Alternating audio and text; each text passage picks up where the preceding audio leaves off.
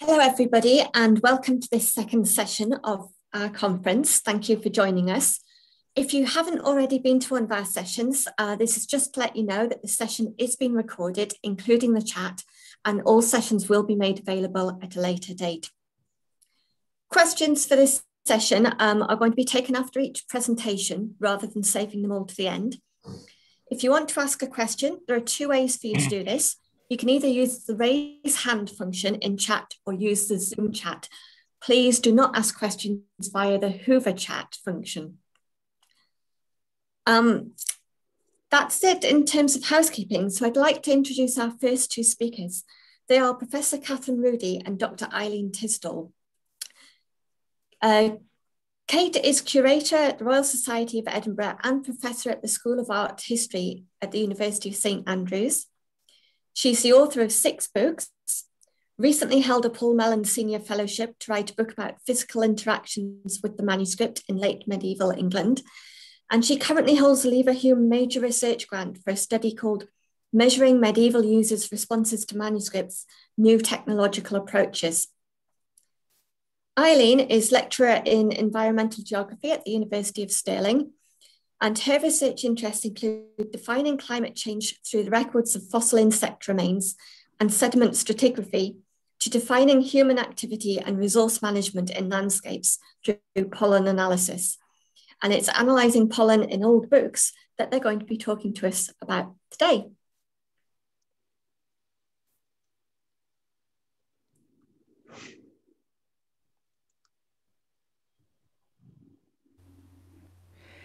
This project has been generously funded by the Leverhulme Trust, for which I'm very grateful. It's part of a larger project called Measuring Medieval Users' Responses to Manuscripts New Technological Approaches. Hi, everyone. I'm Kate Rudy. I'm professor of art history at the University of St. Andrews, and I work on manuscripts and old books. And in particular, I'm interested in developing tools for understanding how people used and interacted with their books, where they took them, what emotions they had around them. And I'm working on a three year Leverhulme project uh, with my colleague and friend and fantastic pollen specialist, Eileen Tisdall. Do you want to say a few words about yourself, Eileen? Hi, so uh, my name is Dr. Eileen Tisdall. I'm a lecturer in environmental geography at the University of Stirling. So ultimately, we would like to use the pollen record in manuscripts, that is, the pollen trapped in the pages and the gutters and the bindings of medieval manuscripts, because it should show us where manuscripts have traveled. So, this manuscript, Dean Brown's prayer book, for example, was made in the southern Netherlands, but then brought to Scotland, and it should contain pollen from both places. Now, that's ultimately what we're going to work up to. At the moment, we are still in the, the testing phases to ascertain whether the environment in books is actually salubrious for preserving pollen over a long period of time. So that's what we're setting out to do. So, uh, for me, for pollen, it's normally something that's really ancient and I would look in peat bogs, I would look in lakes, I would look in these places that haven't changed much over mm-hmm. time. And I wouldn't really look at anything this modern. So, uh, or in a book. So this is completely new and completely different for me. But I have to say, it's been an amazing journey so far, and I've learned so much. Fabulous. So, over the course of the lockdown, you have built some apparatus in order to uh, begin testing the pollen in manuscripts, which is our joint project, which we're talking about today. Um, can you say a few words about the pollen hoover? yeah, so it's it's an interesting one because uh, we had to kind of think about how would you lift the pollen off the pages of a book without damaging the book, and then still being able to kind of capture the pollen. So we borrowed from a lot of the forensic pollen people, um, but their equipment is very expensive. So we had to go for something slightly more creative. And so we just adapted a handheld hoover um, with a special filter on the end of it. So the filter is normally used in um, environmental science for filtered water, so testing for bacteria. So I could put in a filter paper that would be small enough to trap the pollen. So that's what we kind of used. And then the next step was to actually use it on some books. But by the time we got to that step, we were most definitely in lockdown. So I had to fall back on books that I had in my own house. Eileen, so what was the book you you hoovered over lockdown?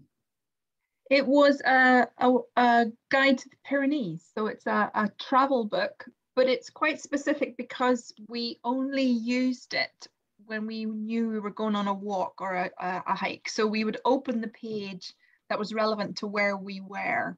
So that's why we're quite confident it was actually only ever opened when we were out in the Pyrenees, because that's when we used the, the, the, the sort of maps and the descriptions of the walks when we were there. So you wouldn't obviously need a guide to the Pyrenees while traipsing around Scotland. So the, the pollen that's trapped in that particular book is likely to have been deposited while you were using it. And you yeah. had it had it outside, opened it, yes, and then clapped it shut, trapping inside. But that's fantastic. So could you tell us a bit about what exactly pollen is before we go any further? So all uh, flowering plants produce pollen, and it's part of their their reproductive cycles. Different plants produce different amounts and different types of pollen, and at different times of the year. Let's say so. It's all part of the plants flowering and then producing seed. And to do that, they need to produce pollen. Mm-hmm. So pollen in itself is actually really interesting material. It's actually really robust. It is a very tough outer coat. And so it can survive quite long amounts of time in the atmosphere because that's important as pollen. Pollen is either moved through the air or on insects to go from plant to plant. Uh, so it's got a very robust sort of outer coat on it, but then that's really useful in terms of because then it preserves beautifully. So if you get the right conditions, pollen will preserve for millions of years. So it's quite impressive substance. Um, but mostly, most pollen you would look for would be maybe 50 to 60,000 years. It preserves in really sort of uh, best in environments where there's no oxygen. So most people, as I say, look in peat bogs or lake sediments for pollen, but it will preserve in really strange environments. So really arid environments are really well known for pollen as well. So as I say, an early interesting kind of substance. And I think we're going to push that very slightly to the limit in this project to work out. So these books aren't, as I say, normal environments where you would hunt for pollen. But um, so far, it's been it's been a real eye opener for me. So, how do you know where the pollen comes from when you find a grain of pollen on something, or in something, or in a bog, or in a book, or wherever it is? How do you know what the species is and where it might have come from. So this this relies on lots of other people doing a, huge amount of work over sort of the centuries that pollen has been used as a as a, a way in which to work out what environments, what vegetation was growing at a particular time. So lots and lots of research has gone into sort of collecting plants and then looking at the pollen that the different plant species produce, and then just basically building up a catalogue of the different plants and keying them out. So uh, uh, roots and botany and, and identifying plants. So they've set up keys then for pollen. And some pollen types are really, really distinctive. So, um, so tree pollen, for example, is quite different to pollen that maybe has been moved by insects. Could you could you show the 3D models that you? I can, made? yeah, yes, that? Okay. I, I do love these. Um, and I appreciate that there is a person out there who who specializes in printing out 3D models of pollen and that yeah. you are the consumer of these. I am. Yes. Yeah. Some amazing project has 3D pollen project has been scanning the pollen grains to generate the models then that you can then print in 3D in plastic. So these pollen grains, so this one. That's fantastic. it's a pine pollen. So you can see this pollen grain travels through the air and it's got these two sacs that make it much lighter and so it can travel really long distances, so thousands of kilometers pine pollen can travel. So pine pollen is actually, because it's so big, um, you quite often can see it. So you, if you go out in your car and you're parked near some pine trees, then you'll see the pollen on the top of the car. It also, you see it in lakes as well. If it's a really good year for pine pollen, it'll be coated on the surface of the lake. So it's quite a visible one. But trees mostly produce lots and lots of pollen and it's sometimes either really designed to go through the air or very small to travel through the air. So then flowering plants, which need insects to move their pollen about, um, have slightly different structures. So this pollen here is looks quite spiky. So it looks like it would be really sticky. So this is like from the group of plants like dandelions. And so here the insects, the pollen sticks together more or sticks to the insect a little bit more. And so then it gets moved from plant to plant in that way. Fascinating. Wow. So in the in the travel guide to the Pyrenees, what did you find? What kind of a pollen grain did you find? So we found a pine pollen in the in the travel guide. It was very exciting because you do get pine trees, pine species in in in the Pyrenees. So one of the tiny drawbacks about pollen is that it sometimes is quite difficult to tell the difference in sort of species between the different pollen types.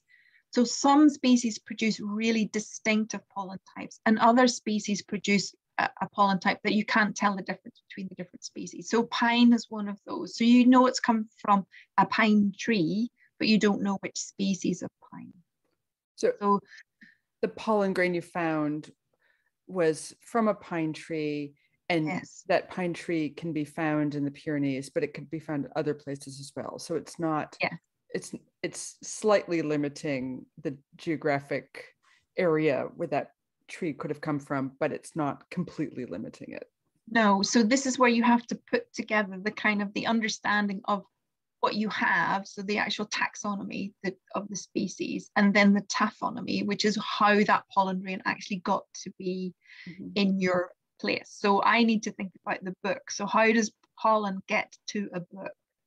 So that's the difficult bit. So normally I don't need to think about that too much because I'm looking at lakes, peat bogs, where I can have a pretty, pretty good understanding of how the pollen has landed in that particular place. But the book presents a slightly different challenge for me.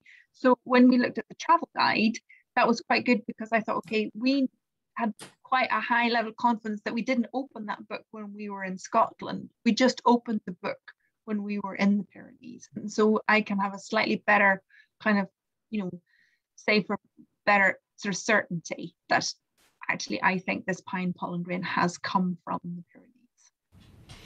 We were beginning to answer the question can books trap pollen, preserve it, and provide clues about where the books were used? With the travel guide to the Pyrenees, we were that much closer to demonstrating that this could be the case. The next step was to try the technique on some older books, ones that were highly likely to contain pollen. They would provide a test environment to answer the next question Can pollen survive in a book for several hundred years? To tackle that question, we enlisted the help of Bob McLean at the University of Glasgow Library. He suggested a number of books that were likely to contain pollen so that we could begin testing the process on actual special collections items. These books included uh, one titled Flowers Plucked in Those Holy Fields, arranged by the Reverend Arthur Hastings Kelk. And this was produced in Jerusalem by the London Society for Promoting Christianity Among the Jews. That's a separate topic altogether. Uh, but the important thing is that the book was made about 1900, and as you can see, it contains actual samples of plant material. And secondly, this book, also from about 1900, which is a souvenir volume of flowers and views of the Holy Land, consisting of 12 chromolithographs depicting various places in the Holy Land, that has pressed flowers from each of these places mounted onto the facing plate. And you'll see here that there are guard sheets little tissues between uh, the, the, the pages in order to try to protect and, and consolidate the samples. So this book too should contain pollen from the plants pressed between its folios. And the question now was whether that pollen could be extracted safely and whether the book had preserved the pollen grains sufficiently so that they could be identified. To ensure that our practices were safe for the rare books and to help develop the technique, we worked with Kira McKee, book conservator at the University of Glasgow Library.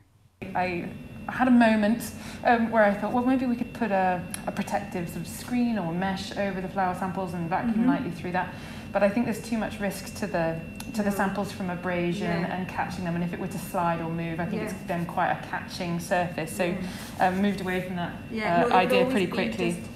edges yeah. or in the like the middle of the book. There's a yeah in the middle of the book, and I've noticed on a few of the these like tissue guards, like down underneath them, there's quite a lot yes. of dust, and, yes. and in some cases, little bits of debris from the plant okay. themselves. Yes. And I spoke to Julie about that, um, that if little, you know, say little bits of these seed heads or plant things have, have kind of come away from the sample anyway and fallen into the gutter, mm-hmm. she's happy to regard that as part of the sample okay. that you collect today. If little bits of the Perfect. dried thing that have already fallen off yeah.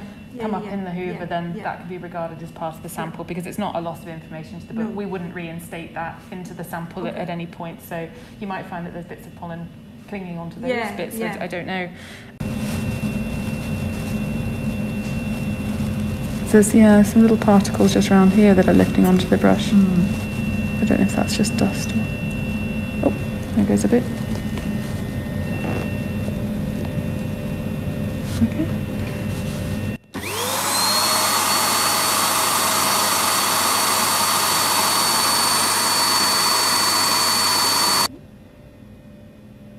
So it looks like one flower on top of another one, or mm. petals from another flower. Mm. Oh, yeah. So what kinds of uh, debris would be on a weasel brush? Uh, I don't know.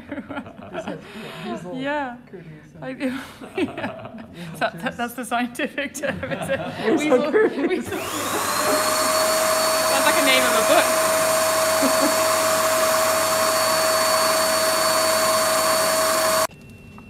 I think this was from the Trinity College. TCL 14138. Trinity College so this was the, the, no, in this case it was the training college for the oh, the Church of Scotland here. Right. Yeah, so it became part of the Church of Scotland. Oh, see now look, they're named. So you can get more specific yeah, yeah. Mm-hmm. information here. Definitely.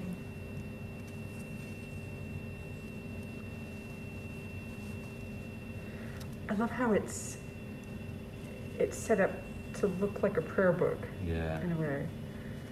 I suppose. It's a, souvenir to think back. Yeah. On your, Cyclamen, anise. Are they the sorts of things you'd be looking at, or is that? Yeah, because see. Yeah. Nice. Yeah. And also, when you get to these plants, which have these more open florets, mm-hmm. they they want to distribute the pollen really widely. So they're relying on insects, but masses of pollen, and so actually it's much easier for that pollen to get released from the flower. Yep.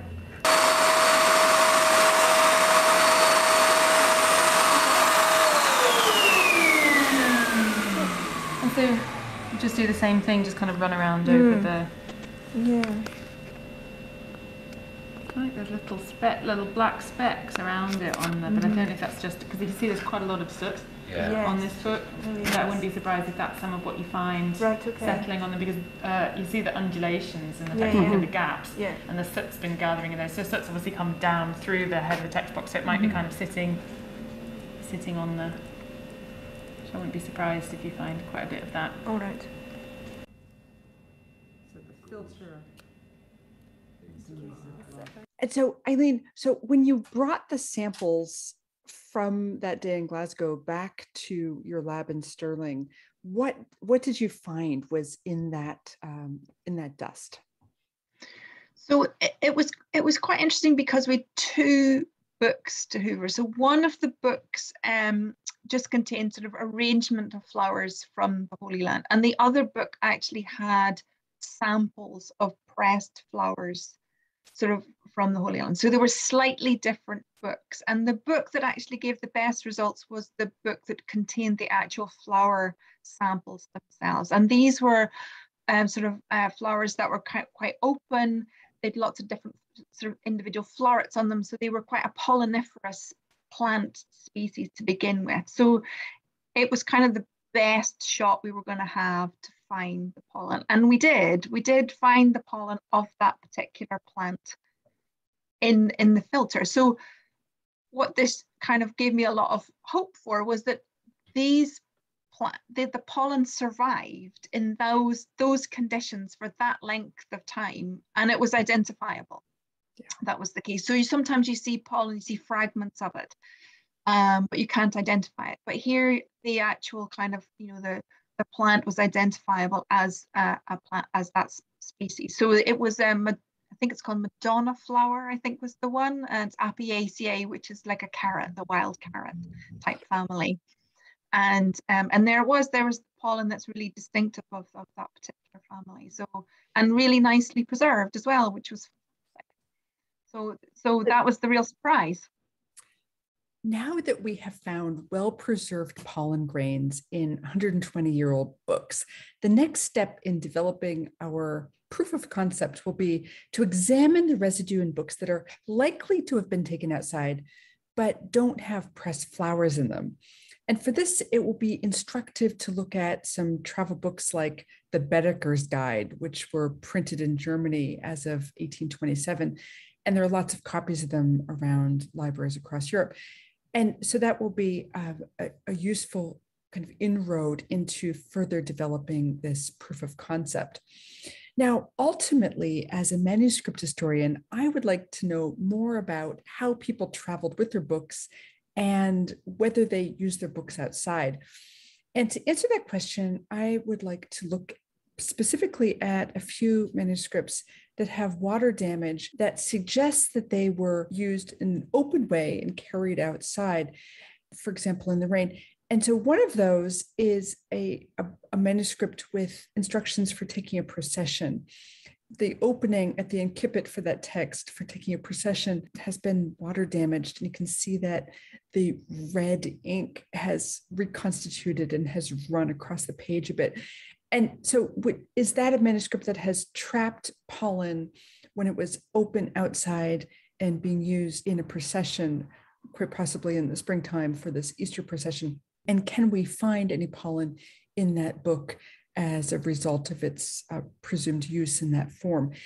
Now, uh, a second example of a manuscript that was most likely open outside is, is a book of hours that has uh, this Vigil of the Dead that where the, the the pages have become crumpled because they were wetted, quite possibly with rainwater, again used outside, and then they dried. And when they dried, they shrunk somewhat.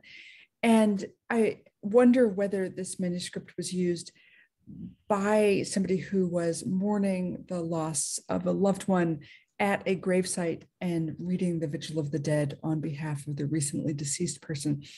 And so this would be interesting if we could see further evidence that books were used in this way outside at the gravesite. Now, finally, for me, one of the most important questions concerns medieval manuscripts used uh, as guides to pilgrimage. And in particular, I'm thinking about one uh, made in the southern Netherlands around 1500. It's a book of hours with extra texts to be said at sites around Jerusalem where uh, there were important shrines. And you can see in this opening that uh, the owner, whose name may have been Jan de Tromp, who was a bailiff in Ostende, did he actually take this book with him uh, from the Netherlands to Jerusalem and use it at the various shrines where he's depicted in the site of the baptism at the Jordan River? Or was this manuscript and others like it, were they used as uh, guides to armchair pilgrimage and not actually intended uh, to be taken on, on physical journeys? And so we hope to test a number of these books. And we also hope that listeners will suggest other books, manuscripts, early printed books, etc., that are likely to have traveled and for which pollen analysis can help illuminate aspects of their reception. And the Scottish based team, that is um, Eileen Tisdall, Kira McKee, Bob McLean, if he wants to come, and I are more than happy to travel anywhere to libraries and private collections to take samples to see if we can determine by investigating this pollen record where those books traveled. So please do get in touch.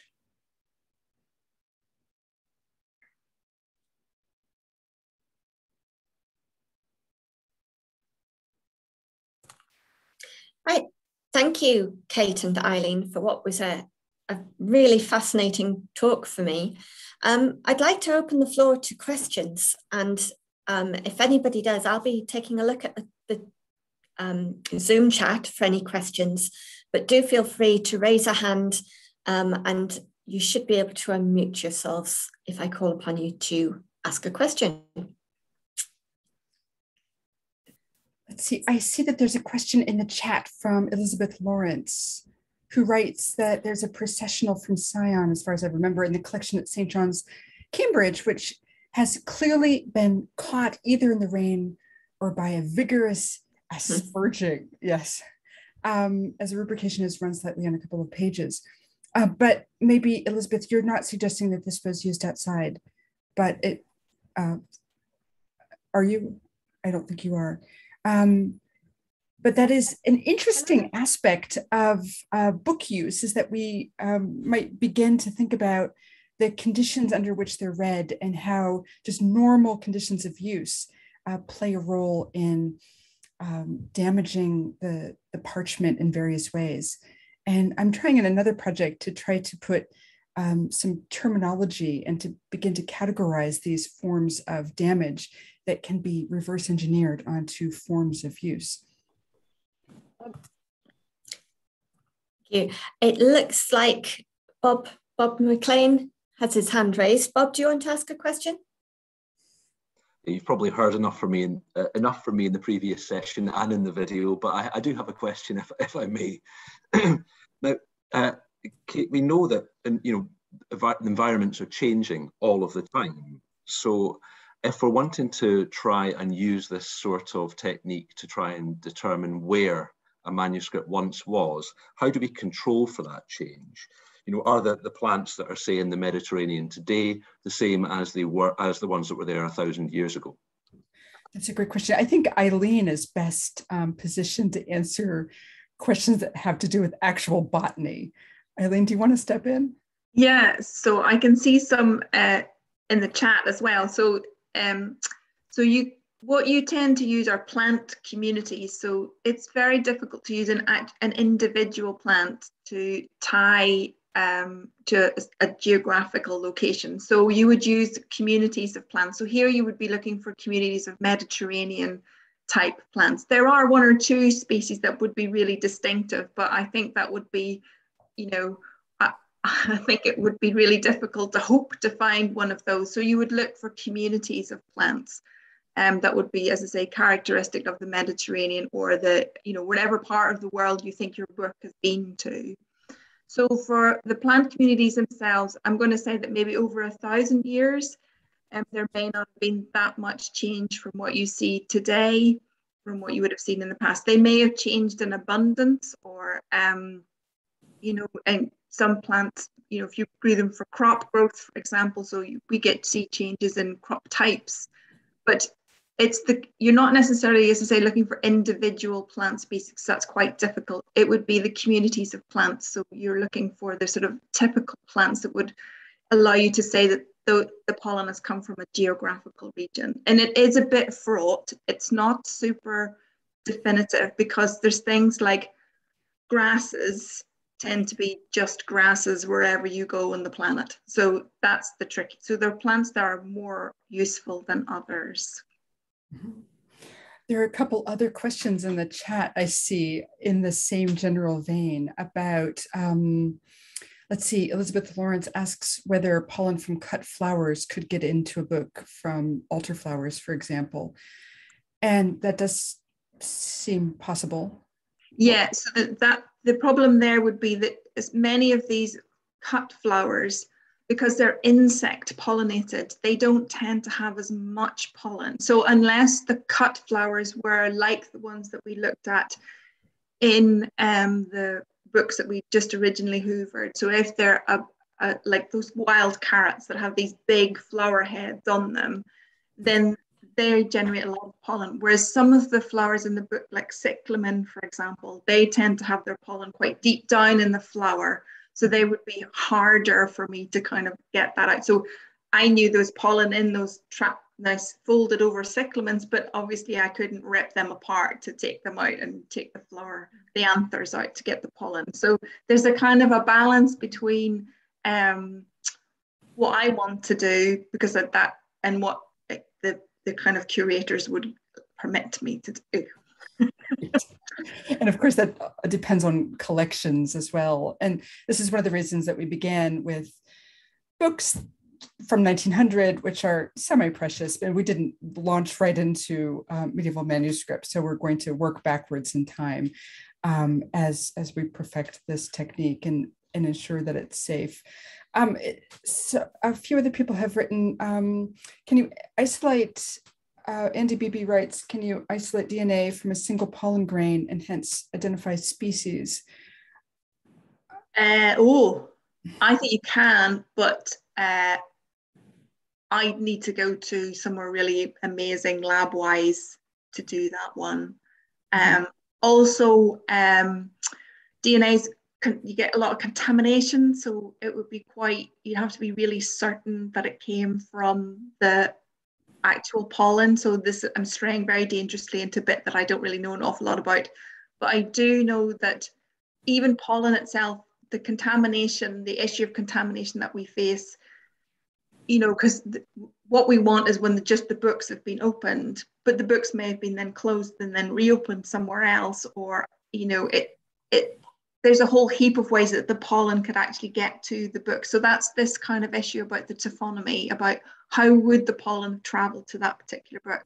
Mm-hmm. And, and so, yes, none of this is very certain, but I think part of it is nobody's ever really looked for. And I think that's the exciting part of it is actually why not just go and have a look and see what is there and then think about well, what does that evidence kind of allow you to say about the way in which these books traveled and were used. Yeah, so that's a really good point. So I think here we're we're building a, a package of evidence, and we I mean, there's rarely in history any proof. There's only evidence that you can build a case for and, and try to have evidence from uh, different sources. And the, the the person who asked about whether altar flowers pollen could get into the book, um, that does seem possible. And I mean, I think what we're what I'm imagining is that a book might contain pollen trapped in it from its place of origin where it was made.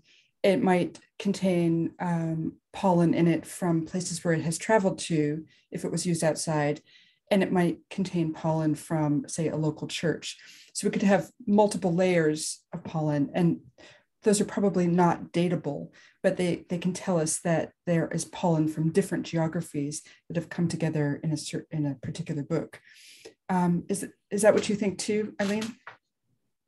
That would be ideal, but um, part of the problem will be just the concentration of pollen because although there's a lot of it in the air, you're still faced with how much of it actually lands on the book. So if it's only one or two pollen grains, then you're faced with trying to decide how did they get there. So you you're trying to get as many pollen grains as possible. So mm.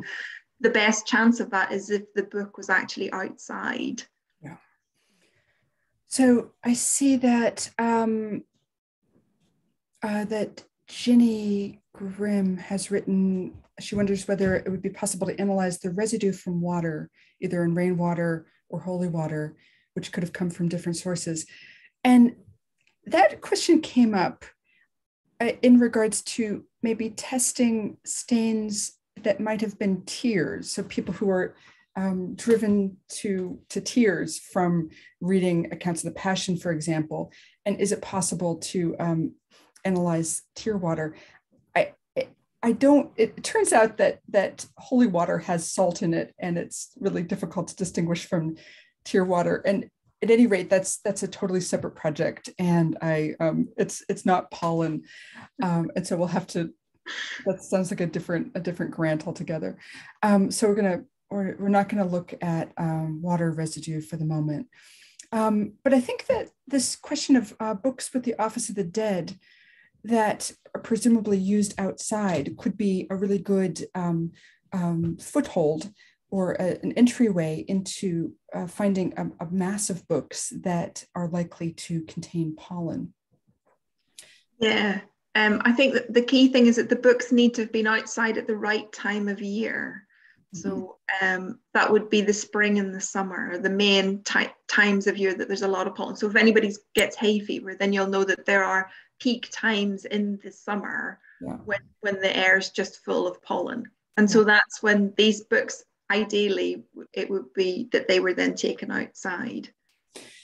In with regard to the late medieval manuscripts that were largely made in Western Europe that have texts in them that are designed to be read while walking around the Holy Land, um, we know from other accounts that people generally tried to arrive in the Holy Land so that they could be at the Church of the Holy Sepulchre at Easter time. And so that's actually a really prime time of year to be trapping pollen. So that sort of gives us hope that this avenue could be um, useful for that body of, of uh, books.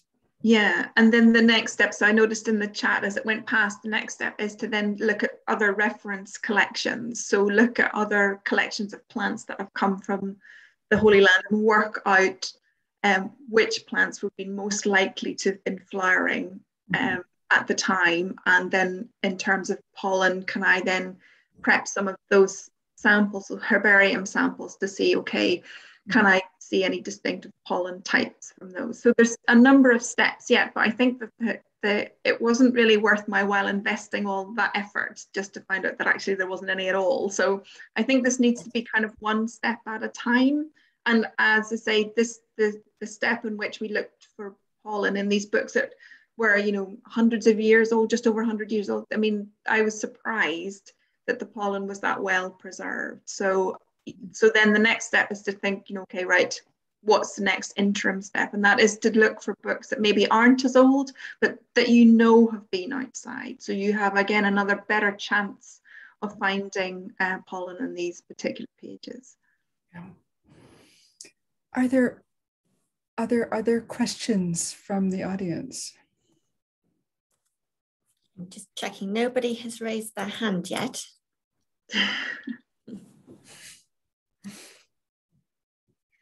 I know that I'm going to be scrutinising our manuscripts and rare books for signs of pollen debris, um, as well as looking out for pine pollen when I'm out mm-hmm. walking. Just the books, the worst thing is if people have cleaned the books and tidied them up, and then that's no good. It's all gone. I need dirty books and first copies. True. Very, very neat and tidy librarians are a nemesis. Um, this is a problem with books that have been through the trade in the last 50 years or so, is that dealers and auction houses tend to clean them up and they just uh, destroy a lot of evidence about use wear. And so it's good to find collections that haven't been cleaned very much. Belgium is great for that sort of thing. A nice, slightly neglected whole country of books um, with, that are full of dirt and pollen um, Belgium is really the go-to country, uh, and uh, there are. I, I think we're really looking forward to returning to Glasgow to to uh, to look at another batch, the next batch, to um, keep refining this method. Mm. So, Bob, do you have any thoughts about what we might look at next in Glasgow?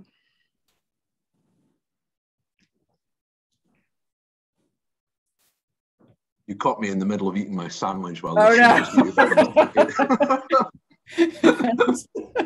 the, the, I know amateur hour. The, the obvious the obvious thing of, uh, I think at this stage is to uh, is identifying, as you said earlier, examples that we strongly suspect of having been in another country. So mm-hmm. one, one uh, example that I'm thinking of is that within our Tischendorf library collection, this was Constantine Tischendorf, the 19th century theologian, um, who was rather a rapacious collector of manuscripts in the Eastern Mediterranean, uh, including the, the Codex Sinaiticus, in fact, was, was him who identified that and, and pillaged it from, from Egypt. Um, but um, we've got within that, that library, his own personal library, quite a number of 19th century travelogues of the Eastern Mediterranean. So we'll know that he has used those in that part of the world.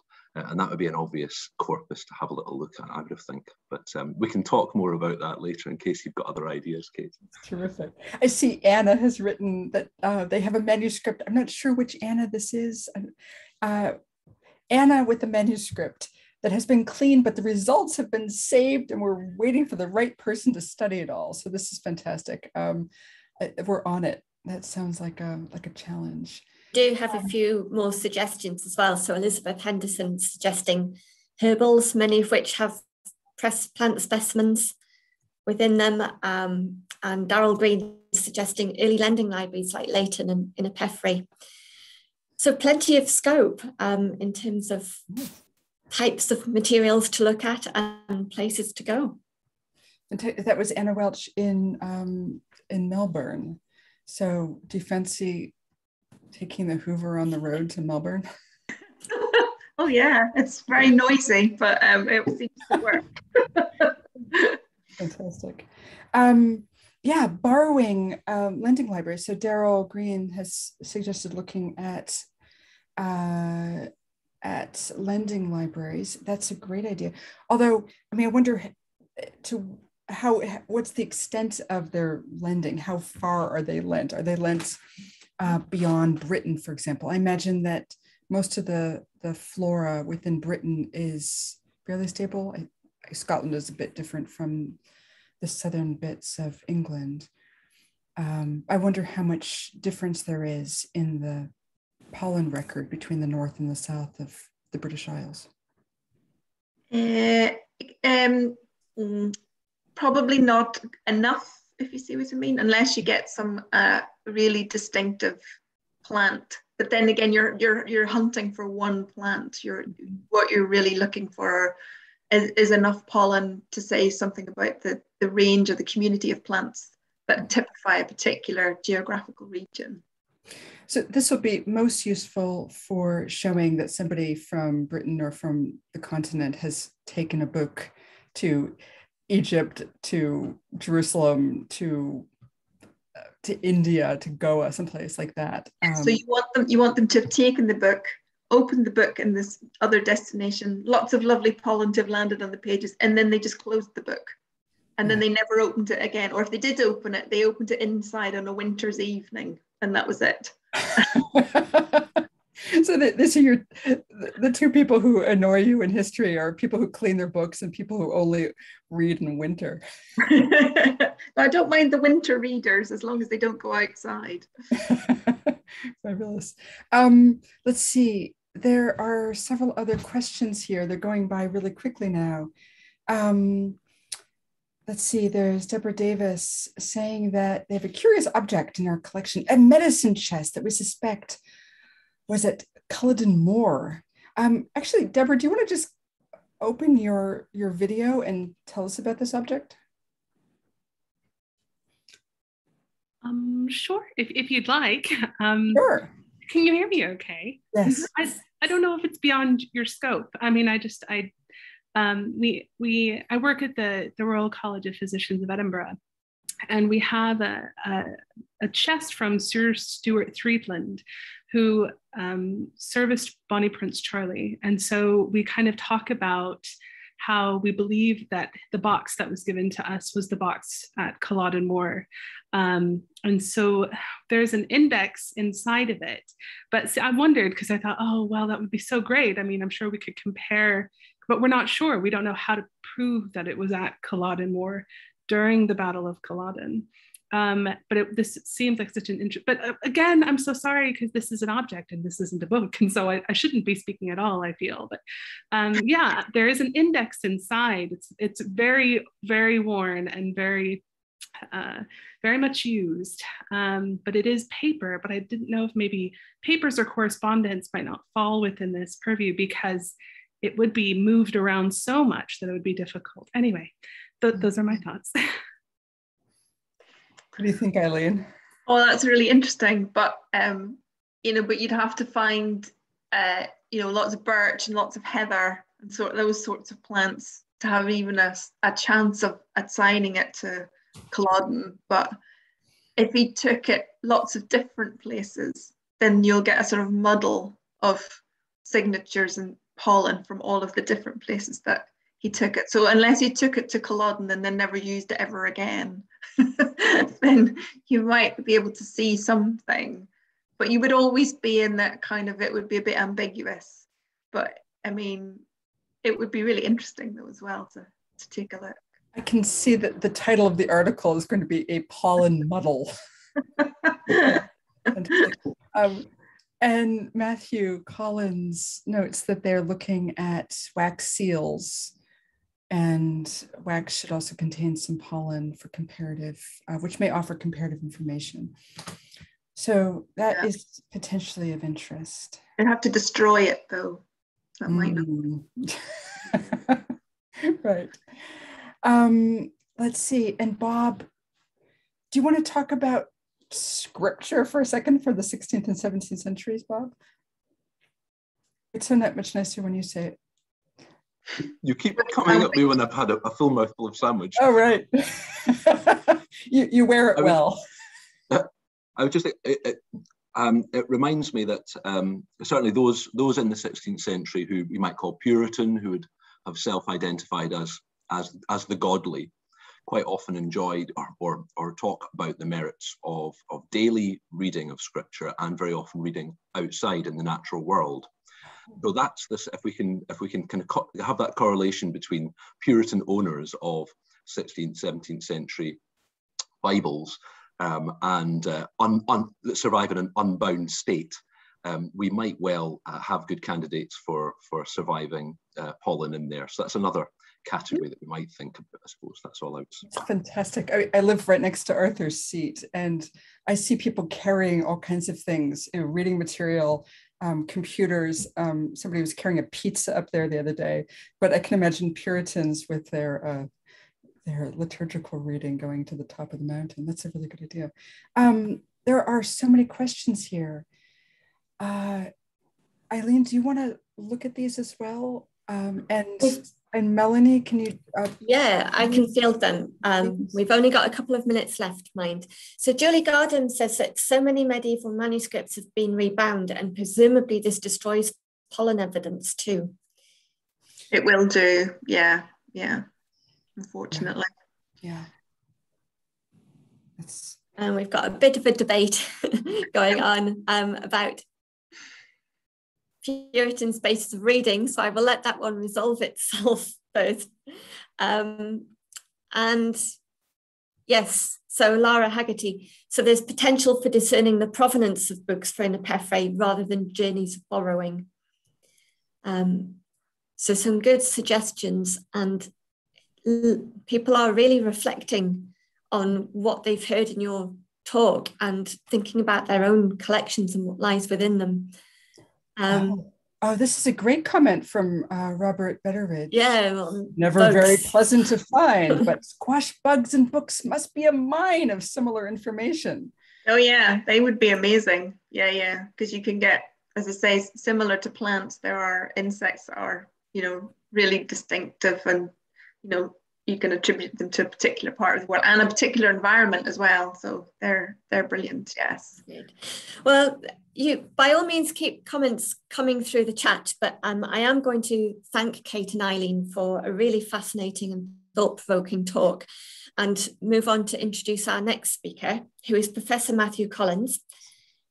Um, he's affiliated to the Universities of Copenhagen and Cambridge and supports a team of postdoctoral and PhD students who are exploring the potential of parchment as a biomolecular archive.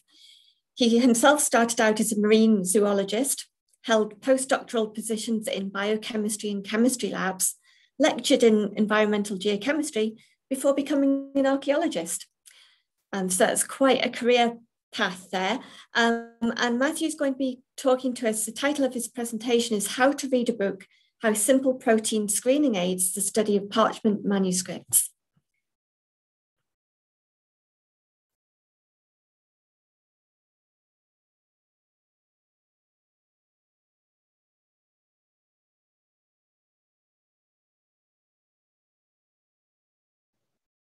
Okay, I hope you can see my screen. Yes, you can. Uh, so I'm talking about a project which is going to really encompass many individuals and uh, has been really ongoing now for almost a decade, in fact. And it's kind of about because of the idea that parchment, so specifically parchment, is a really rich biomolecular archive. And the reason we became interested in it is because of a poor student I had who was a, a veterinarian and he was trying to understand animal management practices by analyzing bone. And we looked at the site in Scotland. He did very, very careful work on the site. But out of 4,000 bone fragments, there was only enough individual pieces of bone which were intact to identify 29 animals.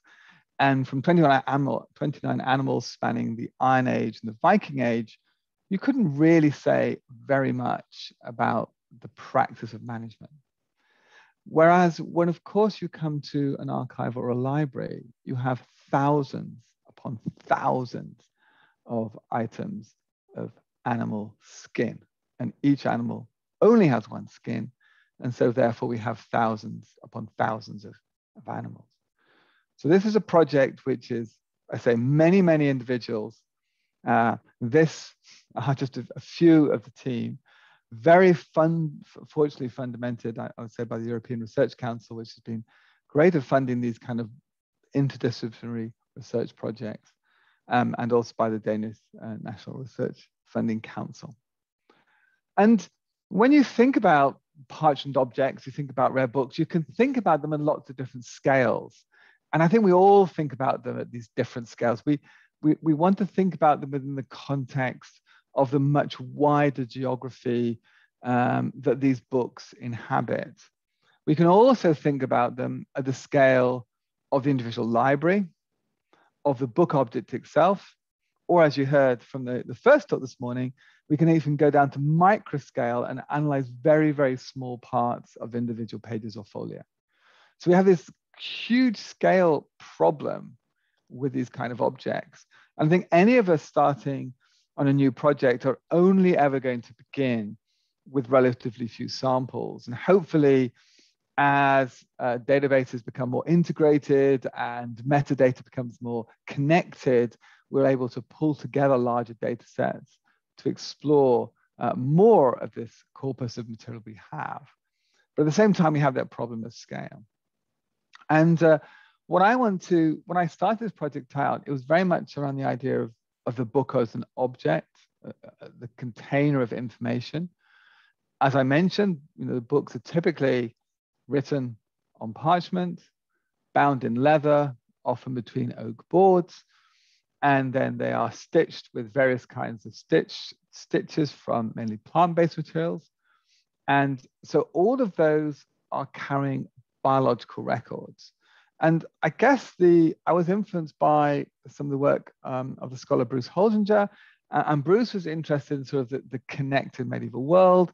And what I saw from these these objects was the idea that they all contained DNA, and DNA was the really exciting molecule, still is um, at that time. And the kind of the idea that in the same way you have a genealogy of individuals, you would actually have a genealogy of every single one of these pieces of parchment because they're all deriving from uh, the skin of an animal who had two parents and two parents who begat those two, four parents begat those two parents. And so every single item of parchment had this kind of genetic connectivity, very much in the same way that people who are studying, for instance, correspondence and um, in this case, this big study by uh, Stanford University on just looking at the world of letters and the connectivity, we have this idea of a connected world. And so in that connected world, documents, manuscripts moving around, and the idea was we could learn a lot from studying the DNA. What I'm going to talk about though is not DNA at all. It's going to be talking about proteins. And this is really analysis at a much coarser scale. And if we think about DNA and we think about proteins, I mean, DNA is copies um, of partial DNA that you get half from your mother, half from your father, and it's stored in a library in your cell, the nucleus. And to me, as a small, uh, a young boy growing up, I always wanted my father, he never did, to buy a set of the Encyclopedia Britannica, because in my view, this was all the information in the world. And if I had this, it would be phenomenal because I would then somehow know everything. Um, but it's certainly in the case of the DNA that makes up all of us, it's all the information that's required to make us. And actually, then a lot of information, which seems to be padding, um, text padding, just, just to make sure that the, the individual chapters and individual uh, blocks of information that, um, that make the proteins are able to be read at the right time. What happens is that that DNA then it's taken out of the nucleus, it's taken into the kitchen. It's like, it's like you, you essentially take this beautiful ob ob book object in the, in the, nucleus, you copy out a transcript on a piece of thin tissue paper, you take it out into the kitchen, and that is instructions on how to make the proteins, and the proteins are the things that make all the molecular machinery in us. So what, what they're much more like really is a kind of a daily newspaper. They're about what is happening at any one moment in time. And of course, that will vary from time to time, from space to space, whatever is actually happening in a cell. So that the proteins are dynamic, it's telling about activity. But it's much, much less information. Think how less informative a newspaper is than a complete encyclopedia. It's only partial information. So we've already heard about the way that we can take this book, object um, um, from the first presentation and do sort of physical and chemical analysis on it. Um, what we are then trying to do is do more biomolecular analysis, and we're then trying to link it up with paleography, codicology, and visual analysis. We're trying to put all this information together. Now, the issue with DNA is it's so costly that we can generate very few samples. The advantage of working on proteins is that we have a method which is in effect so cheap that for all libraries, it's free. I mean, up until now, for the last decade, we've been able to raise enough funding that no one ever has to pay for the analysis that we do for them. Um, and the biggest advantage, and this is what I really want to most reflect, is it's not an analysis which is done by us. We don't make decisions on the samples that we analyze. What this is, it's a realization very early on that um, the importance of these documents meant that they will be handled by conservators and not by scientists. Um, and so we therefore came up with an analysis which uses a conservation treatment, which is used the dry eraser. And in particular, we came up with the use of the waste products of that treatment. And that means simply that anyone in any library, in any part of the world that has a set of Eppendorf tubes from us, which just got labels on them, there's nothing special about those tubes, we'll send you out a Mars Staedtler eraser, we'll send you out some gloves. Um, and then the conservators can essentially collect samples as part of conventional um, conservation practice. And they can keep those because those dry razor rubbings have actually extracted small amounts of DNA and small amounts of protein. And depending on the size of the amount uh, of, of razor waste that's been collected, um, they can then potentially even use it for, for DNA analysis, but it can sit in a drawer, forgotten, until there's enough waste to become interesting for analysis. And that is actually quite remarkable because there are almost no other methods I can think of of protein extraction, which once you've extracted the protein or the DNA, you don't have to store it in a fridge or a freezer until you take it for analysis. But in this case, the, the ways the razor crumbs can be stored into a little um, a tube. And inside this tube, um, it can be left for years. Eventually, it'll arrive back in the laboratory. In the laboratory, what will happen is that the protein will be extracted from the eraser crumbs and that is the protein from the parchment that has been used for the conservation treatment. We also do analyze some leather samples, and we've also attempted, usually without great success, to analyze glues. And what happens then is the, um, the eraser crumbs are extracted and proteins removed from them. They are then essentially introduced into a mass spectrometer. Um, and that piece of analysis that's done in the lab is relatively straightforward. Um, and it means that it, it's possible to, to measure uh, multiple samples uh, in a week. And um, I think the largest number of samples analyzed by a single PhD student on a highly different project on bone was it was over 5,000 over the course of a PhD um, study. So the large numbers can be analyzed by this technique.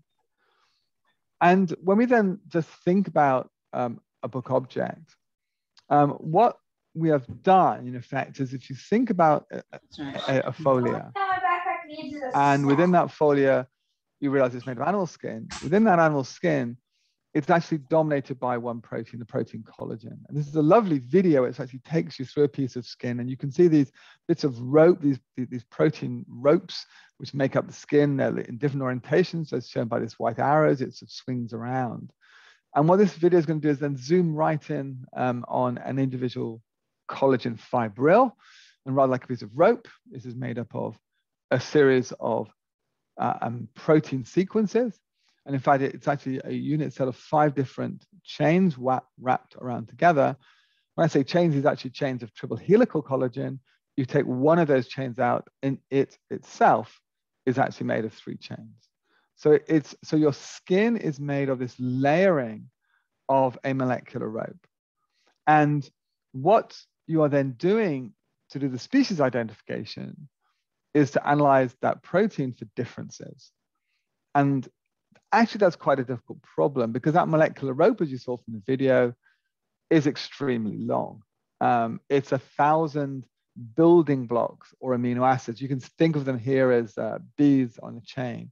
And there are three chains. Two of the chains are actually the same, the third one is different.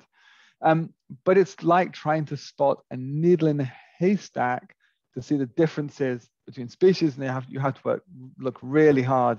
And immediately I'm looking at it now, I can't even see the difference between here, a sheep and a goat. And between sheep and goat, there are 2,000 amino acids of, um, in the two chains, but only two of those are different. So you have to spot those differences.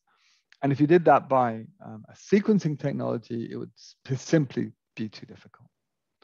Um, so the way it's done is we basically um, take advantage of the particular properties of collagen, which is the protein that makes up parchment. And we've heard before, you know, if, if, if parchment gets wet, we can see it because it begins to gelatinize.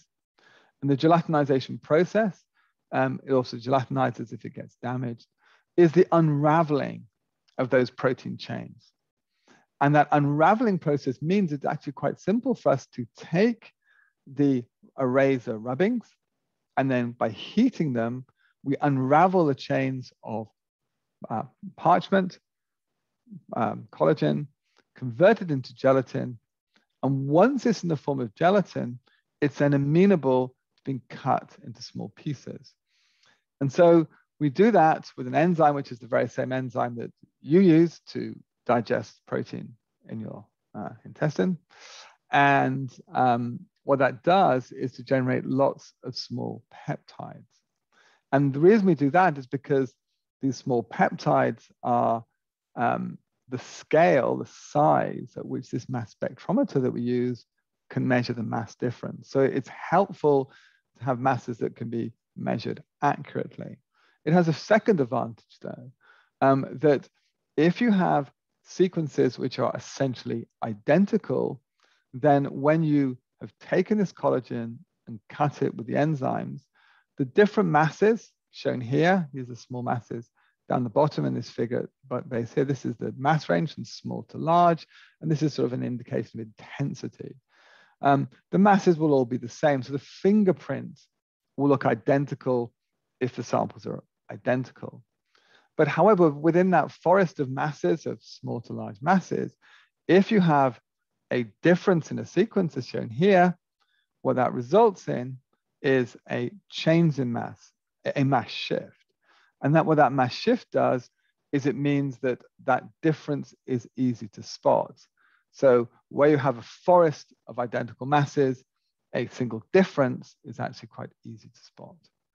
And that means by looking merely for the differences, we can see the difference between a sheep and a goat, or a calf, or a deer.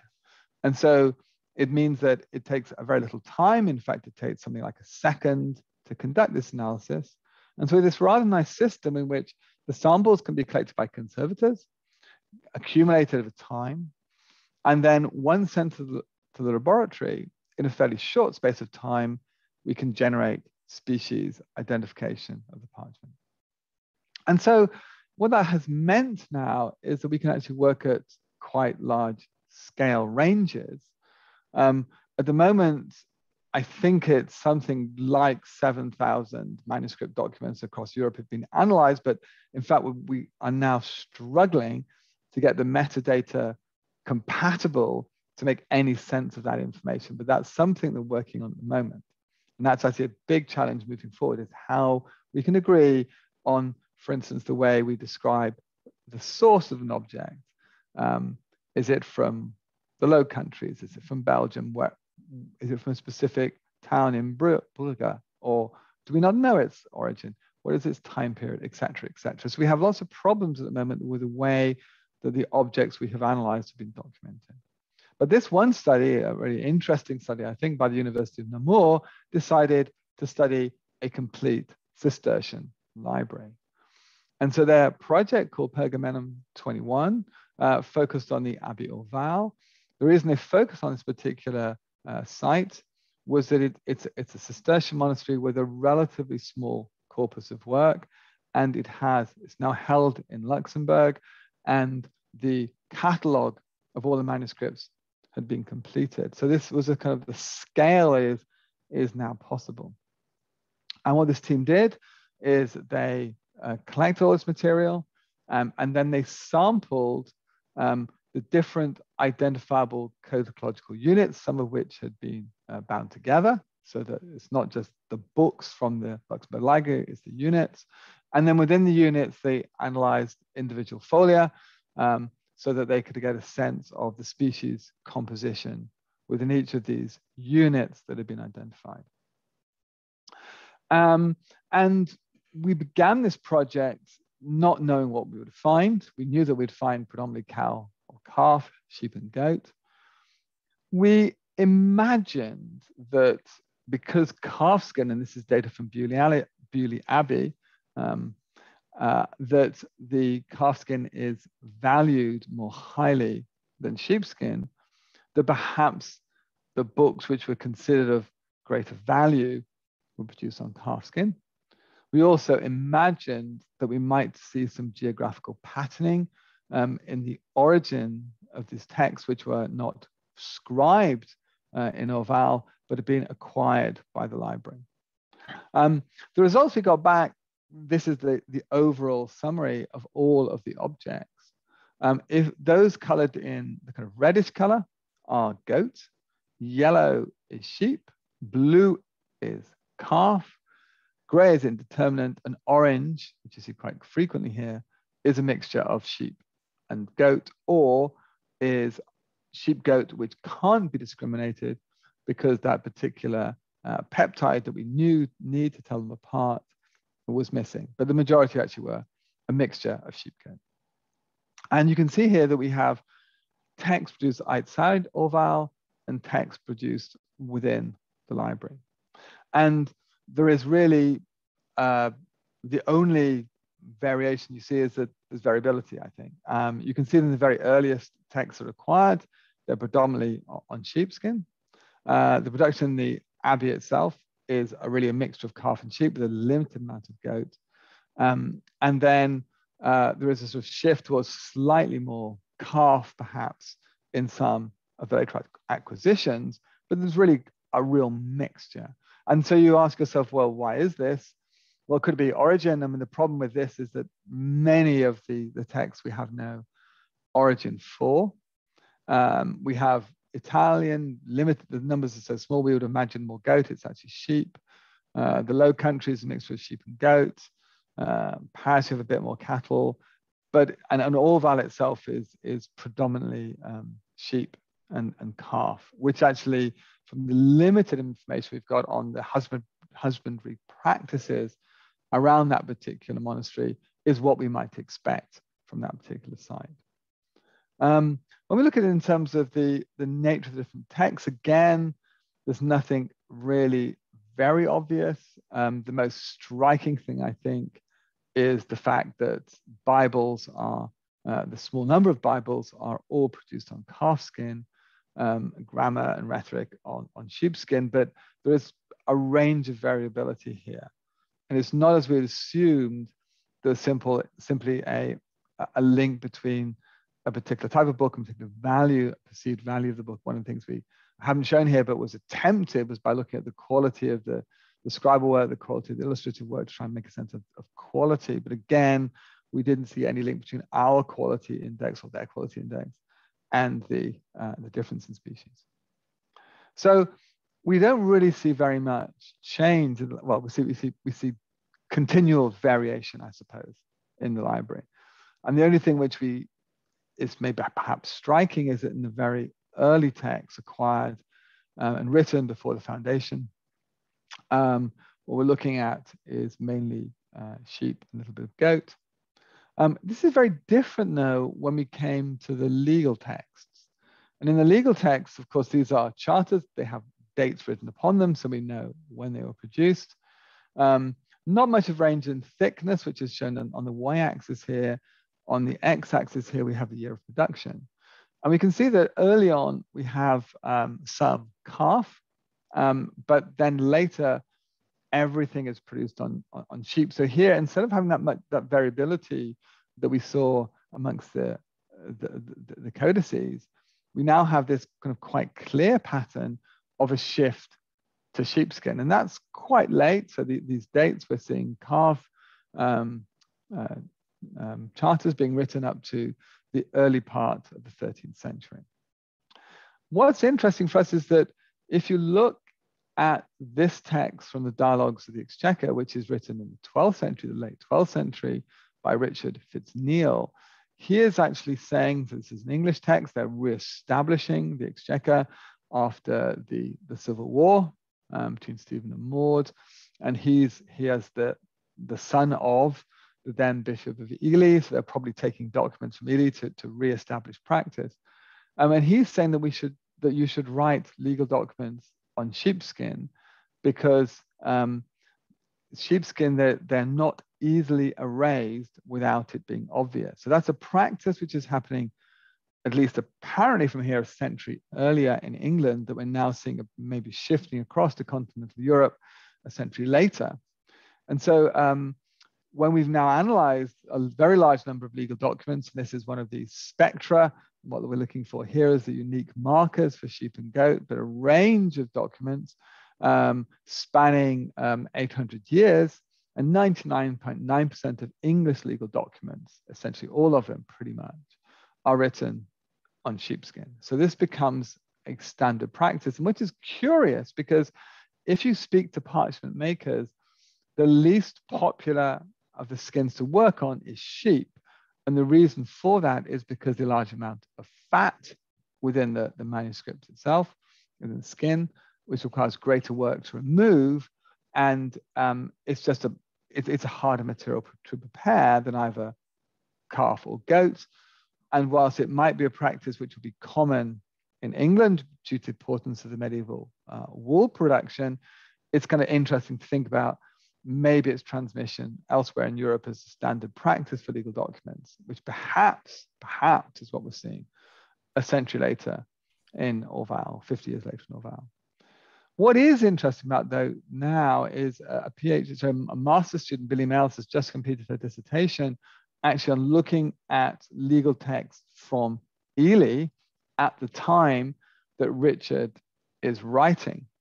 And she again finds that almost all the documents are written on sheepskin, but she is finding this particular document, the Vanek archive, which is written on calfskin. It has quite an interesting uh, structure to it, and the way that uh, the seal tag is produced is slightly different.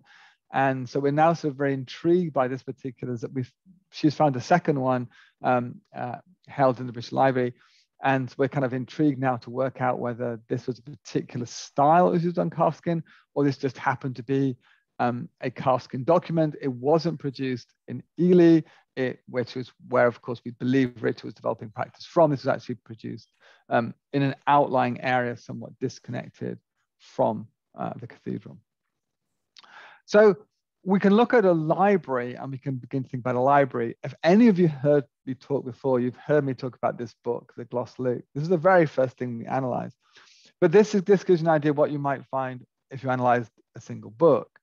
I think this is a great story. Perhaps it's such a good story we won't ever repeat uh, similar story again. But this is a this is a document produced um, in St Augustine's Abbey in the middle of the 12th century. It's about the same time that Richard is writing, um, and it's in its original binding. And uh, we were asked originally to identify the species of the leather binding. Um, when we did that, um, what we found was that um, the leather was not, as we'd anticipated, perhaps naively, uh, calf skin, but it was actually made, made of deer skin. Um, this was of no particular interest. It just happened to be disc. And until, until we talked to Naomi Sykes, who's a zooarchaeologist at the University of Exeter, who had been studying fallow deer, and she become, had become very interested in deer and the way that deer are being exploited in the medieval period. And she highlighted the sort of the way in which deer are seen as vigorous animals. Um, they are here in the case of Landulf, that, that, King Otto, as he lays sick, is wrapped in, in a deer skin. And also she's, she was interested in the ways in which deer were seen as important animals. They were hunted. And here we have the monks in the Abbey of Saint Denis who are requesting from Charlemagne, could they kill deer destroying crops? And he says they can, as long as they bind their missiles in deerskin. And the thing that really had struck Naomi was the fact that when she had looked at different sites, and particularly when she compared monastic or religious sites with other sites, a very high preponderance of roe deer in these sites, which she argues is because of the humoral theory. And the humoral theory, um, in her view, you know, was encouraging the monks to, to eat these meeker animals and not the animals which are associated with hunting. So we have a, a, a text bound in, in deer skin. Um, we actually can't identify which of the two deer species are involved in making the thicker uh, leather band. But when we analyze the, uh, the remaining text, it has this very curious structure, um, which is dominated by calf and sheep. Um, in the case of the work at Abbey Orval, generally speaking, what we were seeing there was a block, if we saw a mixture, so a block of sheep and then a block of goat. We weren't seeing mixing like this. This was something that I think is probably quite common just based on visual inspection from Canterbury and St. Augustine um, at this time from the monastery. Um, but what we see here is this kind of curious structure of each of the quires with calf and sheep. And if we look at quire four, if you compare it to all the others, all the others begin with calf. This one has sheep on the outside. Uh, so a kind of very curious structure. It then sort of a structure which we put at the very beginning appears to break down. We go to high proportion of calf, we have a bit of goat. We go back to the original structure and they end up with, with um, uh, sheep. Um, one thing that Jiří Vnouček, who's part of the project, has been doing is to use the information that we're find, finding to begin to reconstruct the animals. And here, what he's finding when he looked through this text was that um, the quires are being assembled from a skin after a skin after a skin. So we're seeing one skin and then another and another, which is implying that uh, these skins are being used in order. Um, sometimes we're only finding half. This is half uh, of a sheep here, um, and another half of sheep there, and then the front half of a, of a goat skin. And if you look at the goat skin, it's of rather poor quality. It's got various pock marks on it. It's not really, really even big enough for the text. Um, the curious thing then about the goat skin is that it's it's occurring at a point just after the scribes that, that scribe this gloss Luke or, or the central Luke, the, the, original biblical text of the Luke, changes hands. And uh, uh, Bruce Barker Benfield, that did this work, identified the scribe one as a, a scribe he'd seen before uh, many times. He thought he was a very skilled scribe. And then the second scribe he sees as being less skilled in his penmanship. There was more error. Uh, the the gloss, this is gloss looks at the gloss on the on, on the on, on, the sides of the main text. They are in a, another five hands potentially. So there's a, glossing is being done by the scribes, but the central text of Luke, which would have been written first, is two um, separate scribes. And when you look at the text, what you see is that the positioning of the goat is interesting. And again, it was a, uh, a biblical scholar of mine who, who, pointed out to me that, and I was completely unaware of this, that goat is only mentioned once in the Gospel of Luke. And the the story of the prodigal son, in which this story uh, of, of the, mention of, of goat or kid, a young goat, being used by the uh, the son that he doesn't even get this, the son that, that has been staying at home working with the father. That the text is being written here on on on this particular folio page 106. Um, and then what we see in the next quire, we see that half a flea bitten goat. And when you then realize that the, the, the point at which the scribes change is the following quire, it does make you think a little about the processes going on in the mind of the first scribe. And the point at which they're, they're putting together a structure which, given the number of samples of, of calf and sheep could have almost certainly gone right the way through the text, almost, of this mixed calf and, and sheep. And my suspicion is that the, the original scribe at this point is realizing he won't be able to complete the whole text, so he just uses up the remaining calf material. And then as he's leaving, the last thing he's scribing is this, is this section of Luke, which includes the story of the prodigal son.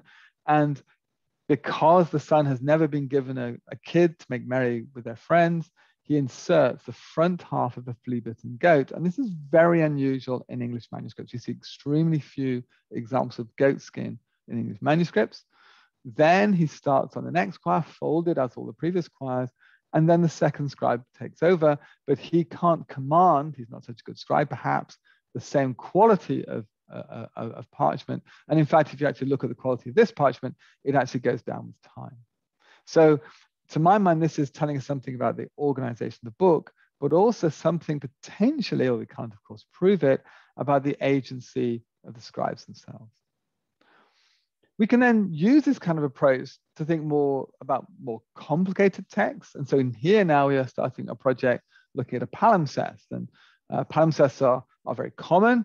Um, and here in a palimpsest, of course, I think you all know that you're, you're taking an original text or a series of texts, and then you're erasing the original uh, text and then uh, using that to write a new document. And this is um, a, a, book from the uh, collection of the University of Copenhagen. In fact, it's the earliest text in their collection. Um, it's written a single hand, um, but but it's thought to have been comprised from a range of much earlier documents. So even though it's scribed quite, quite early, it's actually thought to be made of even earlier documents. So this is some, uh, we believe to be probably Spanish or possibly Portuguese parchment dating from perhaps the 10th century and perhaps even earlier. When we look at this parchment, um, we can conduct a visual examination of the parchment. And this visual examination, which is done by the uh, conservation and, and codicological team, they've been working on this document for some time. You can see that there are a range of different possible uh, groups. Uh, the end leaf is, is definitely different again. What we have done, as you can see here, oh, is analyze the species composition, sorry. And the species composition here is, is very mixed. Um, as befits a Spanish document, it's made mainly of sheep and goat. We see that very commonly in that part of the world, which would be consistent with those species being used. But again, it's not using um, a, single species, it's much more mixed. This is a very complicated structure, but of course it's a palimpsest. And as I say, when you actually then inspect the document, it looks like uh, the first element um, is all of sheep, the next element is all of goats, and comes probably from a different component. Um, the, the, next element possibly also comes from the first element, and so forth. And then the last group is maybe a separate manuscript. I mentioned to you previously the idea of doing the spectral analysis, which is got tucked off the bottom of the screen here, where we, I, we measure a spectrum, and the spectrum is the intensity of all the separate peaks. These are the fingerprints of the parchment. Um, what we have here is the grouping of goats and sheep. Again, the red is goat, the yellow is sheep. But what's happened here is we've taken those complicated spectra and turn them into data cubes. And in those data cubes of just the message which have been found across all of this data, they're colored and the intensity reflects the intensity of which those were measured. So we have orange is intense and blue is less intense, from low to high masses. These are all the various folia. But what's interesting about this, if you go back to look at the previous structure and you start to look at the cluster analysis, what you're starting to see here is that there is a grouping, for instance, one group of goats is actually linked back to this later goat skin here. And despite the same species, the earliest goat data um, corresponds to this, what appears to be a second element of the palimpsest. And so this is really surprising and rather exciting to us. It's very new work. We haven't finished the work yet. We're hoping to get some better um, imaging uh, with multispectral imaging of the, of the undertext, although the undertext is extremely hard to read. It's been very effectively removed in, in most of these bifolia. But it seems that beyond merely being able to tell apart sheep from goats, we seem to be here having structure in the samples, and that structure is actually reflecting something more about these species of uh, these samples. And given we're seeing structure where some goat are actually clustering with sheep. It's not species which is relevant. It seems to be linked to the different components of the palimpsest. And perhaps that's reflecting differences in the way that the surface was removed. Of course, this has been analyzed using an eraser method, and we are looking at the surface. But equally more excitingly, perhaps it's actually telling us something about differences in the manufacturing process. And what is exciting more than that then is we don't just have this particular document. As I mentioned, we have 6,000 parchment documents from all across time and space in Europe. And so what we're now trying to do is build a much larger data cube of all of that data. We have to correct, correct for batch effects, which reflect where the machines were being run and uh, etc. But if we've done that, will we start to see broader structure within all the parchment documents across Europe? And what is that telling us if we find it. We can also incidentally uh, try and measure um, the level of damage of the parchment. But again, we've done this in this case because we found often that that links the quality of parchment. But here you can see it's a pretty scattered data set. Um, if we have a high value for parchment quality index up here, uh, that indicates a, high quality parchment. Um, so these, these ones are high quality, if you can see my, yes. Um, and these ones are worse quality, but there's no obvious pattern really within the, within the context of parchment quality. For instance, these goats a very, very variable in quality. These goats a slightly higher quality. So, but there does seem to be greater structure in the overall um, mass fingerprint. And again, we can reassemble these, and now it's much more helpful because we have the data based upon the actual manuscripts themselves. And what we can see there is we can then see this is a bit of goat skin. And in the goat skin, we can measure the size of this kid. And this is a, really, a relatively small animal. Um, the last thing that we can then do is we can go and analyze the individual constituent stains. Remember, this is a surface analytical technique. Um, and if we do that, as we've done here, this is on a, uh, a birthing scroll. So we can analyze individual stains on the birthing scroll. Uh, these are the different proteins, and this is a different type of analysis. This is a more complex, more expensive analysis, but we see presence of um, the protein associated with royal jelly. We see milk proteins. We see proteins associated with peas. And um, what we were able to do in this case, I wasn't, but my um, medieval historian colleagues were able to do, was to look at the various salves and, and, and, that have been uh, proposed and then link the, the possible presence of particular proteins associated with, these different materials to possible salves that were used, and also because of the presence of proteins associated with cervical fluid. We can say this is almost certainly uh, very closely associated with the birthing process. Uh, it's probably potentially worn during the birthing process. And given the fact that many of these were destroyed and very little was written about uh, the experience of women, very little at all, I think nothing at all, about the experience of women um, in childbirth in medieval periods, this kind of record could be very helpful. So, I mean, that's really all I want to uh, stress at the moment. What I want to say then is that when you think about this kind of analysis, and it's one of many we've heard about uh, today, and we've heard these kind of exciting new developments in the accessibility to this sort of analysis um, at a UK and a European scale. Um, we can hope, I think, to see in the future that we can begin to integrate together more of this data, data on the material properties of these objects, on the pigments we've heard about previously from um, the talk from Durham, but also uh, the overview that you got from, uh, from uh, the first presentation from Laura. Excellent. And, and then we can uh, look at things like the structure. So we can begin to pull together, as you saw in those images, uh, the structure of the document. And we want to be able, of course, to say where we have sampled from. At the moment, we're saying we sampled from part of a bifolia, but as you saw from stains, it actually matters where you sample from. And in Kate's earlier projects, the Dirty Books project, wonderfully named project, I mean, she was looking at the handling. So you imagine if you look at the, the, the parts of a, a document you handled, then actually you're going to pick up much more of the human interaction with the kissing or the touching of the books than you will actually the, the animal origin of the text themselves.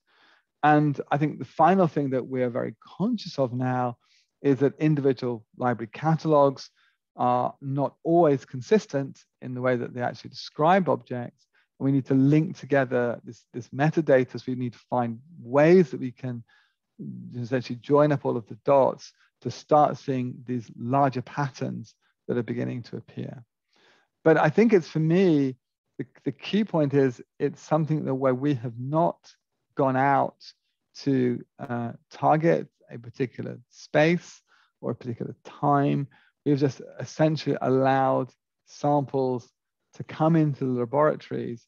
And by analyzing the samples that come into laboratories, we've been able to explore patterns. And we're still only, I think, at the very beginning of mining the surface of this data. So yeah, so finally, just to, to thank everybody um, that was involved in this project. Um, from Ismail that did the data cubing, Erji that examined them, uh, Vladimir who did the image analysis, Albert who developed VisiCol, Natasha conservator looking at the, the, Spanish document, Sarah who actually developed all the methodology, Matthew from the Argument Institute, Argument Institute, and then Laura who is the, uh, the PhD student who's been working on um, this uh, particular palimpsest document. And I very final note that I have added, in case it's useful to some of you, um, a list of various texts um, that, that you can read. And there's a, a, a, web link. And I think the first people to access, for six people to access the web link, can actually download all the PDFs from this list. And that's associated with this particular session. And with that, I will um, I'll stop.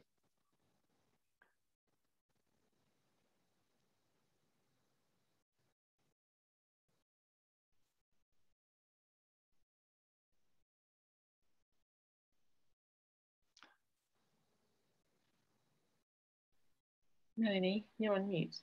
Yeah, Melanie. Sorry, I'd pressed it twice. Um, we've got just five minutes for questions, but maybe people would like to continue um, the conversation via the chat and the community section of um, the Whova site. But I have seen some comments already coming in. Um, so somebody has asked, Sarah Charles asks, can you tell whether the animal was male or female or the age of the animal when it was killed? Yes, we can. So, with one of the interesting things we found is um, that we are every time we predict the sex of the animal, we seem to get it wrong. So we looked at an object which was produced in um, three years before a terrible murrain had wiped out most of the cattle in Britain, uh, just before the start of the 11th century. Uh, so it was 996. Um, and we imagine, therefore, that this beautiful text must be made on is on calf skin. It would be made on male calves because if you just had a huge murrain, surely you want to build your stocks up again. Um, in a small sample set, this is New York Gospel, we found mainly female animals making up the text, although we didn't analyze very many. More recently, we've been looking at a range of Spanish documents. We've been link, trying to link um, uh, the rise of the wool production in medieval Spain to the importance of the merino sheep and we are aware of the way those sheep were managed and the fact that castrated males tended to produce the most wool and were very uh, popular.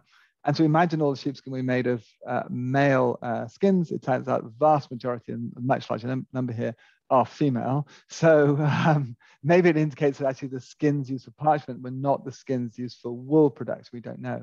Um, but that requires DNA, not proteins. In terms of age, we can say some things. Um, we're trying actually get a better measurement of the real age, although we are, we can certainly tell when an animal is very young. So all of the calf, we can see uh, a protein called fetal hemoglobin, which is only produced up to the age of six weeks, six to eight weeks. And also by the size of the animals, we know these are killed extraordinarily young. And it's really quite intriguing when you think about it in terms of animal management, that actually young animals are almost never found at this age in the archaeological record. So what's happening to those bones, we don't know. Um, we are trying to find a way of actually aging the oldest animals now. At the moment, that is not yet working. It's an idea in progress. And that's based on protein aging within the skin. And we've got a follow up to that um, saying some people say that they can claim what type of parchment it is by looking at it or handling it. Has your research proven this to be untrue? Yes and no. I mean, um, it depends who you we, we've done some blind tests and we get up to 30% error with people who are experienced and are prepared to do a blind test. Um, but i would say that i think it's relatively easy uh, once you get your eye in to tell calf from sheep goat. It's much harder with sheep goat particularly because different breeds being used in the past had very different follicle patterns and that's what you're mainly going on um, so I think that's the, the larger one. Although there are some beautifully prepared late antique uh, sheep parchment which look like calfskin. Um, but no, by and large, I think um, an experienced uh, person can probably tell. And what, what is also really interesting, uh, you heard about these wonderful spectroscopic techniques um, this morning. Um, and we have found that with FORS, um, we can probably tell apart um, sheep from goats, at least in modern samples. If we could do that, because you can tell part calf anyway, maybe with the addition of other spectroscopic techniques, you wouldn't need the protein-based method. But at the moment, there's enough errors, and we, our most experienced people who have been doing this all the time, and look at it, they always get it wrong still. So they always end up relying on the protein analysis and not the visual analysis. Okay, and one final question that was in um, is from Bob. Is it possible to study tan skins or skins that have been treated in other ways, like tawed, as well as parchment? Yeah. yeah might so, we move? Sorry, might we use this to reappraise our theories on bindings as well? Yeah, well, so the, the crazy the crazy thing with the bindings is that a lot of stuff that we identified originally as as as, as calf skin binding um, uh, was in fact coming out as deer skin. In fact, and, and what we're really intrigued by here is that there are, there are temporal variations so that uh, deerskin is very popular in the Carolin Carolingian world. And then the weird finding is that, that, we have these um, uh, outer bindings, these, uh, these hairy bindings on a lot of Cistercian documents on obviously important, um, important texts that they have. And they're turning out to be sealskin. And the genetics of those is also, they're not merely their sealskin, but they're also coming from very northern latitudes. Um, and so we think this, these are from colonies which today are found into northern Norway. Um, so we think that these are probably Viking imports into the medieval world. Um, and that seems to be something that is picked up in the early Cistercian tradition, and that seems to be uh, followed through. Um, and so, yeah, so I think we can see those differences. Um, and, and it will be intriguing to see a larger, larger scale pattern of that. Yeah. Thank you. We'll leave questions there. Um, I'd like to thank all of our speakers, so Kate, Eileen and Matthew for two really interesting presentations. Um, we're now going into a short break until three o'clock, but I'm hoping that you can continue this conversation. Um, the chat will be recorded along with this session um, and made available at a later date, but you are invited as well to make use of the community features of our conference platform. So do use that as a networking opportunity during the break. And we hope to see you back at three o'clock. Thank you.